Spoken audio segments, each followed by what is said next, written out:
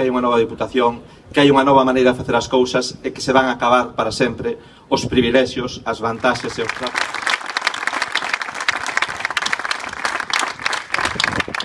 Eh, como nos entendemos así... Pontevedra deixou de ser a, a, deixou de ser un lugar ao servizo do Partido Popular todos os concellos, democratizamos o funcionamento desta institución e tamén estamos de